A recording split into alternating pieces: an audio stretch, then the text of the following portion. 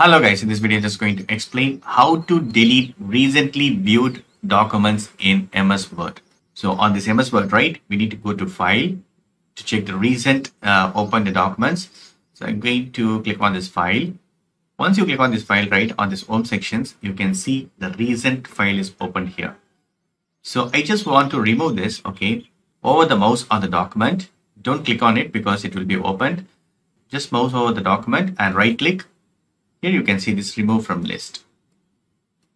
So another one, I'm going to remove it. So just mouse over on the document and right click, click on remove.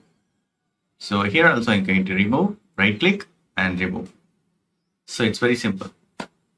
So that's it friends. Hope this video is very much helpful. Thank you so much for watching. Please put a comments and feedbacks and media forms. Thank you. Bye and take care.